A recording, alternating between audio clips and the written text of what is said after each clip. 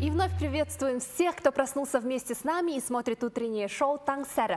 қайырлы таң көрермен 31 арнада таң сәрі бағдарламасы Студиямызға қадірлі меймандарымыз да келіп жетті. Ендеше қарсы алайық таң сәрінің төрінде өнерде де, өмірде де жарасқан жұп Әділ мен Дана. қош келдіңіздер қайырлы таң Қайырлы таң Әділ мырза, Дана ханым, қош келдіңіздер. Төрлетіңіздер. көңіл күйлеріңіз қалай жақсы жайғасыңыздар көргенімізге қуаныштымыз сіздерді. Көргенімізге иә ерекше қуанып отырмыз. Бүгінгі таң қалай басталды? Сіздер үшін енді әр таң ерекше ә, ерте басталады ғой балаларды мектепке жөнелту керек иә? Иә, аллаға шүкір. Таң азанменен бүгін енді жақсы көңіл күйменен тұрдық. жақсы көңіл күймен тұрдық бірақ пробкаға тірелдік демейсің ба? Енді алматының бір ә, мәселелі тұсы осы Иә. ә, көлік кептелісі иә? Көлік кептелісінде не істейсіздер? Ән айтатын шығарсыздар иә әншілер? Тана қолына сотканы алып да ана жақпен жүр мына жақпен жүр оңға солға Мен деп бағыт отырады. көрсетіп отырамын. Аха, бағыттаушы дана ханым иә. Жақсы енді қыркүйек айы балалар мектепке барды. Абыр сабыр тіршілік басталып кетті иә. Балалардың сабағын кім қадағалайды? Сіздер енді қолымыз бос емес деп мамандарға тапсырасыздар ма? Жоқ әлде өздеріңіз қадағалап міндетті түрде қабылдап аласыздар ма? Көбінесе дана ханым қадағалайды сабақ жағын.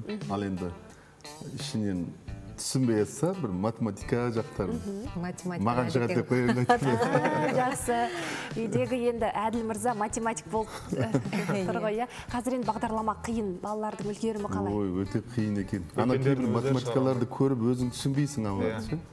Қиындау, иә. қиындау бірақ енді аллаға шүкір біз енді балаларымызды ана қосымша сабақтарға беріп жүргенбіз ғой. Алдында да ағылшыннан да одан басқа нелерден де. Білмегендерін өзіміз түсіндіреміз. Сөйтіп әйтеуір келе жатырмыз ғой аллаға шүкір бірақ өзің бірге оқисың балалармен ше иә міндетті түрде. Балалардың сабағынан бөлек өз шығармашылықтарыңыз бар кәсіп бар дегендей. Қандай жаңалықтарыңыз болып жатыр? Шығармашылық саласына келсек.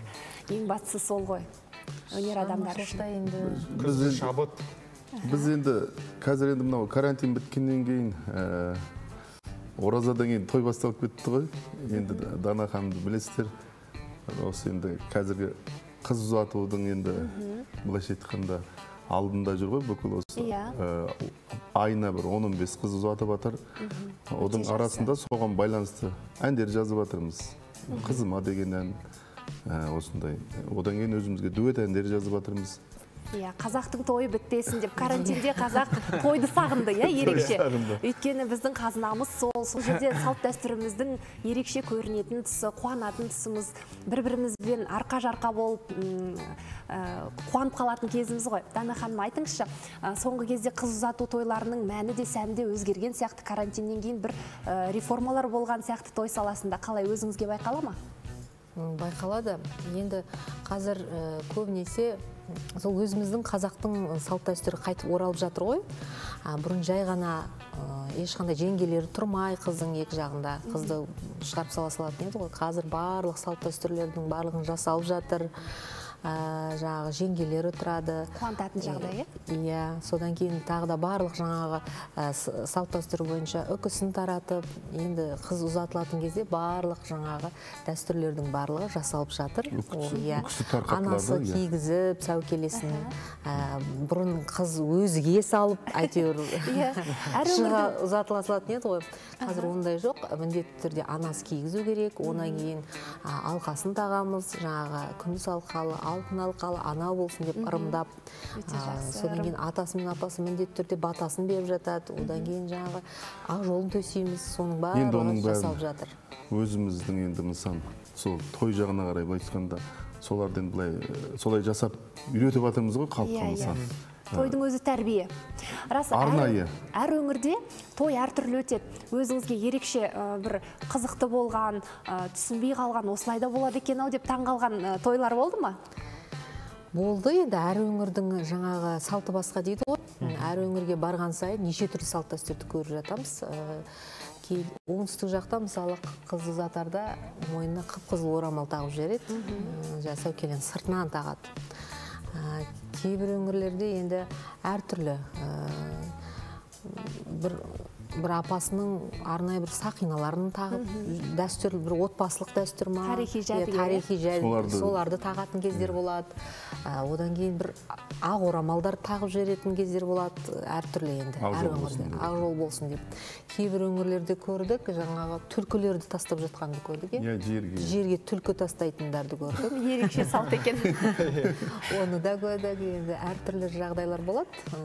Сол енді әр жаңағы өңірдің салты әртүрлі. Ал әлеуметтік желіде? А бір өңірде бір қыз кеткен кезде бір суды былай шашқанды көрдік иә? Түрік елінен келген дәстүр ау деймін сол әр әр қалай екен иә?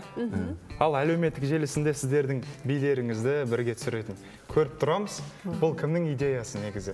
Бұл дана ханымның дана идеясы. Жоқ мен енді сәл өзім сәл нелеуімін ғой былай енді? Ауру бастықтау көрсе де солай. Сырды бірден билегім кетпейді. Билейтін жерлерім бар мысалы андай? Тойларда бір достарымыздың өнер адамдарының тойлар болған кезде барып Иә. билеймін. Жас кезімде биші болғанмын шынын айтқанда андай. Түнгі клуб. де жассың ғой соны айтамын қазір деп жассыз ғой аға. Жоқ ол кезде енді он бес жиырма жас кезім ғой. Түнгі түнгі клубтарда көп жүретінмін билеп. Танцполды бермейтін едім иә дейсіз ғой иә. сол билерді шығарып қоямыз анда мында бір. Иә өте жақсы дәстүр сияқты. Менің ойымша мынау жас отбасыларға көрсеткен бір үлгілеріңіз ретінде қабылдаймыз өзімізді. Себебі ол да бір жанұя жарастығының бір кілті ғой. Арада бір сыйластық болса сондай бір отбасылық дәстүрлер болса ол да бір араны жақындататын адамдарды бір бірімен үйлестіре түсетін нәрсе ғой иә. Сол енді жас отбасы құрып жатқан жастарға айтатын кеңестеріңіз болса енді сіздер үлкен шаңырақсыздар. Осы орайда тойлар туралы айтып отырмыз иә. Әңгімемізге тұздық болсын. Айта ал енді мынау ата ананың осындай қазіргі кезде той жасау оңай емес. Енді осы той жасағаннан кейінгі екі жас бір бірін түсіне білу керек өмірде енді неше түрлі жағдай болады. Ә, шынаяқ шылдырламайтын болмай уақыт болмайды мысалы оның бәріне түсіністікпен қарап кешірімді болу керек. Мынау бастапқы үйленген кезде бір үш жыл төрт жыл бір біріне кешіріммен қарап өтіп кетсе ары қарай бес жылдан кейін бір біріне махаббат деген арты сыйластыққа өзгереді. Туыс болып кетеді соңында. сөйтіп бір біріне сіңісіп бірінің мінезін бірі түсінісіп мысалы сөйтіп ары қарай ә, махаббат сыйластыққа ауысады да ары қарай әдемі өмір басталады. Енді одан кейін бала ә, балада сол ә, былайша айтқанда баянды өмірдің дәнекері болып кетеді. Өмірге бір екі сәбиіңіз келгеннен кейін сол сәбилердің күлкісін көріп көп, көп нәрселерді ә, кешіріммен қарайтын боласыз. Енді және де айтарым мына біз еркектер енді даланың адамымыз ғой. Бірақ енді сонда да қыздарға мына әйел жанына кешіріммен түсіністікпен қарағанымыз дұрыс. Әрқандай кезде. Енді бір баланы өмірге әкелу деген оңай емес. Енді тоғыз ай тоғыз күн толғатып өмірге әкелгеннен кейін оның бәрін көп нәрселерді кешіріммен қарап сыйластықпен ары қарай өмір сүру керек. Керемет кеңес. Иә тыңдайтын құлақ болса менің ойымша өте жақсы кеңес. Өте дұрыс. Иә, әлеуметтік желідегі билер туралы да айтып өттік. Одан бөлек тағы да сіздің дана ханым асханаңыз жеке асханаңыздың барын білеміз. Ол кәсіп қалай жүріп жатыр? Ей, ол енді жайында да ол кәсіпті бастап көрдік. Енді біздің саламыз емес қой. Бұл бір жаңа бір ә, сала. Ә, бастап ә, осы жаздай жаңа жасап қалай болар екен деп. Енді қыр сыры өте көп қиыншылығы да өте көп. Былай сырт көзбен қарағанда оңай көрінеді екен де. Кез келген іс сол ғой енді. Оңай ой оны кім істей алмайды дейсің екінің бірі істейді деп жаңа тәуекел деп бастап көргенбіз. Бір үш айдай істеп көрдім. Шын айтқанда өте қиын Бұла- былайша айтқанда бала шағаға ә, тастап азаннан кешке шейін соғың қасында жүреді екенсің. Бас азанда тұрасың тек қана сол жаңағы күнделікті ә, енді ол тағам болғандықтан ә, жаңағы қадағалау керек. Жоғары. иә күнделікті алып келетін зат екен да ол бір ертерек көп алып келіп қойып қоятын емес. Күндегісін күнде алып келу керек оның бәрін қадағалау керек күнделікті жаңағы поварың келіп тұру керек дегендей. Кәсіп қылмақ оңай емес. Иә содан үш айдай көрдік. Әрине ол артынан жүрсең істейтін нәрсе қолдан келетін дүние ғой. Бірақ енді біздің саламызда той томалақ жаңа айтып отырмыз ғой иә көп уақытымыз жаңағы ол жерде бола алмаймыз қадағалау жоқ болып кетті арт жағында. Ораза біткеннен Иә, одан кейін бізде той басталып кетті. Той басталып кетті. Сөйтіп апта сайын басқа қалада боламыз. Концертіміз бар ә, ән жазуымыз керек бала шағаға қарайтын адам керек дегендей содан кейін менен жаймен әдекеңе айттым. Әдеке енді шынын айтқанда мен әзірге қоя Иә, тұрайық вообще Иә, мен шаршап кеттім деді ғой мен шаршадым дедім. Шынымды айттым. бір апта екі апта жүрдім жаңағы қасында сосын көмекшім істеп көрді. Ол енді басқа біреу істегеннен кейін кішкене ол жерде тыңдамайды кетеді персонал жаңағы ойдағыдай ішіндегі адамдар. Иә ойдағыдай.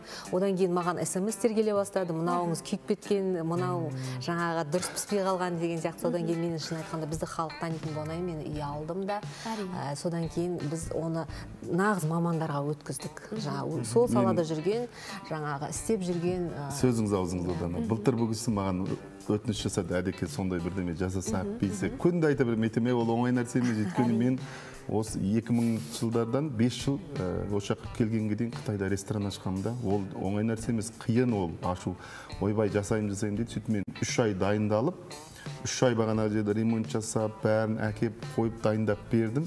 Одан кейін ары қарай бұл кісі үш ай жүргізді. Сосын шаршадым деді. «Е, онда жарайды деп. Басқа нағыз соның өзінің несінде жүрген жігіттерге бердік. Солар қазір өздері жүргізіп жатыр. Поварлар жасап жатыр. иә. А, жаңа торғайсы сойса да қасапшы сойсын деп айтып жатады ғой қазақта. сол енді дәл айтылған сөз екенінің бір мысалы. біз кешелі бері осы кәсіп туралы айтып жатырмыз. Сондықтан ғой қойып отырған сұрағымыз. Көрерменге де бұл сабақ болатын шығар иә. Әр адам өзінің сүйікті ісімен және міндетті түрде уақыт бөле алатын шаруамен айналысқаны дұрыс деп. Енді көрермен демекші қойып отырған сауалдары бар екен WhatsApp желісінде. Жаңа той жайында әңгімеледік. Бір тойға қанша аласыздар деп әлжан есімді көрерменіміз жазыпты. Енді бұл көрерменнің сауалы. Енді құпия ма әлде бұл құпия дей салайықшы иә бір енді совсем енді өтірік аз да алмаймыз енді деп сондықтан енді біз өзіміздің еңбегімізге сай кез келген еңбек өз тиісті бағасын алу керек өнерде жүргенімізге мен өтірік айтпай ақ қояйын мінекей 30 жыл болды маған мен 91 жылдан бері ән айтып жүрмін дана ханымға да 20 жылдың шамасы болды біз қаншама рет концерт бердік қаншама ақшамызды жіберіп ән жазып клип түсіріп жатырмыз бір клипіміздің өзі мысалы 3 миллион теңге кеткен клиптерімізге дейін бар. Сондықтан соны қадірлеп бағалау керек та. Енді әр адам түсінбейді. Ой екі ән айта саласыңдар да мұнша ақша аласыңдар дейді қаншама еңбек жатыр республика сарайға бір концерт беру үшін мысалы мен 2015 жылы 70 мың долларымды қаржыладым мысалы оны түсінбейді халық. Дұрыс айтасыз. сондықтан оның бәрі ақшада бәрі сен өнерге салсаң ол қайтады.